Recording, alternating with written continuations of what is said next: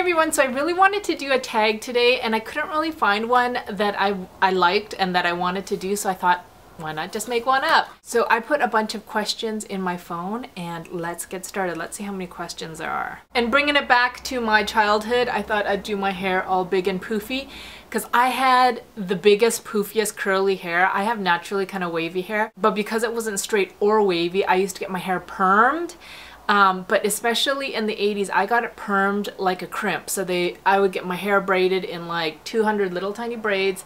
They would put perm tonic on it and then my hair would be like permanently crimped. So question number one is, who is one cartoon or TV character you wanted to be as a child? I totally wanted to be Jem. Jem Jem, truly outrageous. I don't know if you guys remember, but she had um, little stud earrings that she would touch and she would turn into a rocker. And before that she was just kind of like a normal person. And so I always always um, loved Jem and the Miss was it the Misfits? Yeah the three bad girls. Um, but I just loved it when she turned into a rocker because she had like pink hair. I just thought she was like the coolest person. And I remember having a Jem uh, sweatshirt and it said like Jem in pink and like there was like a little diamond on the J and I thought it was so cool. So mine would definitely be Jem. What toy did you want but never got? Okay, so growing up, me and my sister did not have a lot of toys at all. We, we didn't have a lot of money. Um, but we were around kids that always had super cool toys, you know, like we, I don't even think we had any Barbies. I think, I think someone had given us a Barbie or two, but we didn't have like clothes for Barbies. You know, people had like trunks of clothes.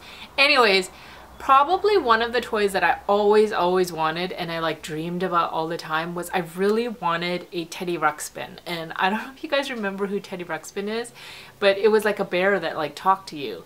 Um, and so I really, really wanted a Teddy Ruxpin, but I think they were really expensive. What was your favorite toy as a child? Um, like I said, we didn't have a whole lot of toys. Um, I can probably think of two. First one was a Cabbage Patch Kid. My uncle, I remember he like waited in line forever to get me and my sister each a Cabbage Patch Kid. And I got a boy Cabbage Patch Kid, which is actually kind of funny. He had brown hair. His name was Albert.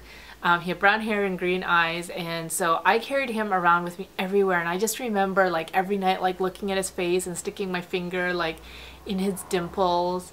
Um, so Albert was my favorite and then um, I also had a little purple popple. I don't know if you guys remember what popples were. They're like little furry animal monster things and you could flip it and it turned into like a ball. Um, and the normal ones were like this size, but I had like a mini one and it was purple and I loved it. Um, it's so funny when you think back and stuff, like I can totally remember even what it smelled like. Okay, next is something you wore that you thought was so cool. Okay, so I had humongous glasses and this is when those glasses that like covered your whole face were in and like you know the really cool girl had like the transition where it was like pink turning into blue and I remember it started becoming cool to put on those sticky puffy stick-on earrings like in the corner of your glasses so um, we would have like a puffy pink heart or like a puffy star you know on the rims of her glasses and we just thought it was like so cool. I remember thinking I was pretty cool when I did that. But anyway, trend that should make a comeback. It's funny, I wrote these questions and I didn't really think of the answer. I think all trends kind of come back in some way or another, you know, they kind of come back modified. But I guess the trend that I'm kind of liking now, that I guess it kind of came back, you know, back in the day people wore like leggings and tights with a big baggy sweater and like high top. So I guess, yeah, I guess that would be it, like acid wash jeans. I, I've been wearing my acid wash jeans a lot lately. So a trend that should never come back, probably the bushy eyebrows and then your eyeshadow from the lower lash up into the bushy eyebrows. I just remember like, you know, just like the non-blended, just bam eyeshadow. I think that should probably never make a comeback. The next question is what was your first perfume in like middle school, junior high? And um, I don't remember if I ever had this or if it's just everyone else had this. But okay, the perfume to have was exclamation. And I don't know if that was like a Canadian thing because you could like find it in the drugstore.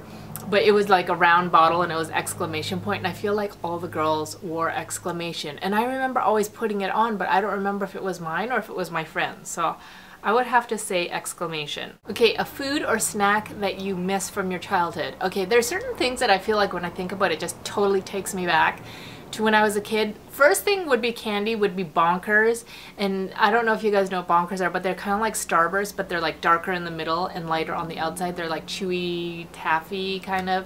Um, but I used to always get orange and my sister used to always get grape. So we would always trade. So Bonkers and strawberry shortcake cereal. They were like corn puffs, but the Canadian version of corn puffs, not the American version.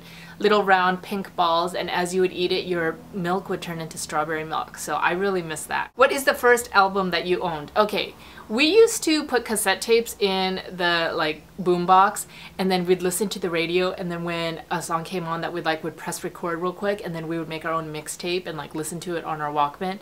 Um, but I think the first like actual album that I owned was Color Me Badd um, because I remember hiding it from my parents all the time because they had I Want to Sex You Up and what was the other song? But I, I, anyways, I just remember my mom finding the cassette tape and it had the word sex on it so she like freaked out and she made me throw it away and I was like so heartbroken because I loved Color Me Badd. First piece of makeup, I didn't wear makeup for a really really long time so I want to say my first piece of makeup was probably clear mascara.